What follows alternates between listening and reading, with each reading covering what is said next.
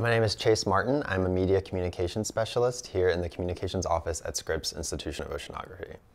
So I chose the MAS program because I grew up always wanting to be a marine biologist. Um, in fact, I told everyone that's what I was going to do, but in undergrad I ended up majoring in journalism.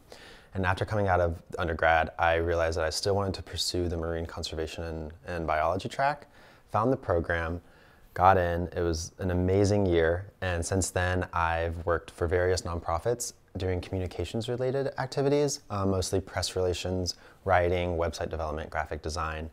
And now I'm back at Scripps, uh, pretty much working on my dream job. So I wouldn't have been able to come back and work here if it, wouldn't, if it wasn't for the MAS program.